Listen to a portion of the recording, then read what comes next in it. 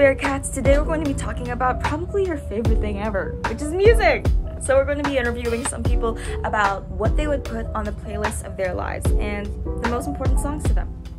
So how would I describe my music taste? It is across the board. Um, I literally love anything but country. I would describe it as eclectic, uh, kind of all over the all over the place. I would describe my music taste as evolving.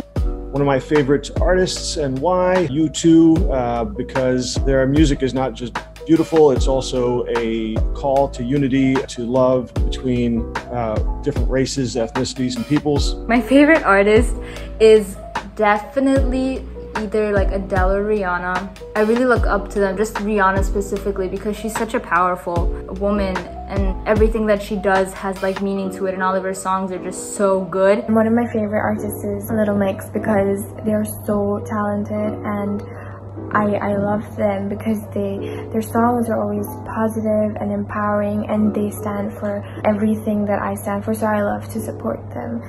Um, an important song from my childhood, literally any song from the um, Princess and the Frog series, mwah, impeccable.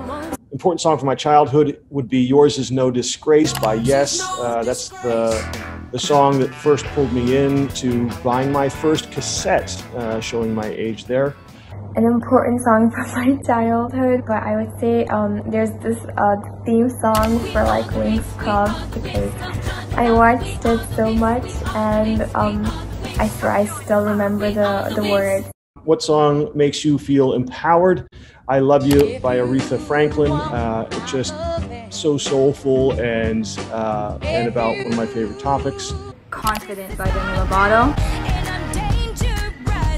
I would say it's like Unstoppable by Sia. What would you say is the most iconic song ever? There's so many iconic songs.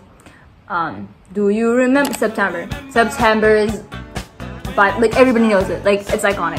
Got to be Bohemian Rhapsody by Queen. I think probably Don't Stop Me Now by Queen. Rapid fire songs.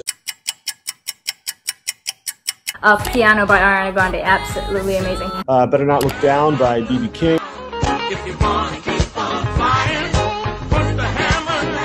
I Warned Myself with Charlie Puth. Missed Calls by Max. A Cherry Tree by KT Tunstall. knows it better than I know myself, so I'm gonna let it do all the talking. My friend Francesca's song, Prom Queens, I like that. Thanks so much for watching this week's video. I hope you found some amazing song recommendations, and I definitely know I'm going to be updating my playlist soon. Thanks for watching, and see you in the next video. Bye.